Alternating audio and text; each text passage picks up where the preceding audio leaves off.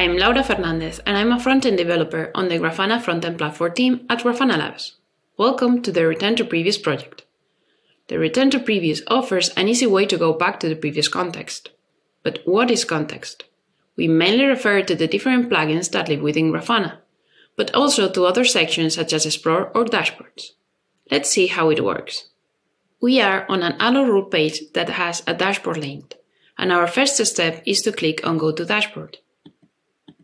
Now, on the dashboard page, we can see the Return to Previous floating button. Although we can use it right now and go back to the Alert rule, we are going to browse a little bit more and go to Explore. Imagine that we have already done all the work we wanted to do here and need to go back to that specific Alert rule. This is now available just by clicking the Return to Previous button. Let's come back to the dashboard page. What happens if we know this path by heart? It's okay.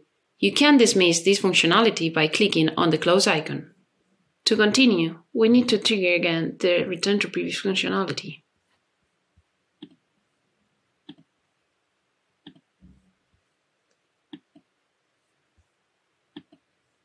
If we go back to this Alert rule using the navigation, for example, the return to previous button will be dismissed automatically.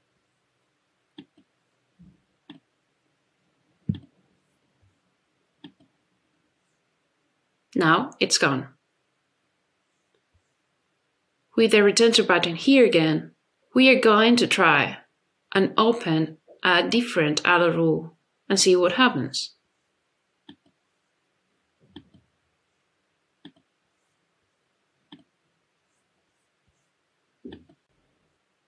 As you can see, the data will be overridden, so the return to previous button will lead you to this last Alert rule.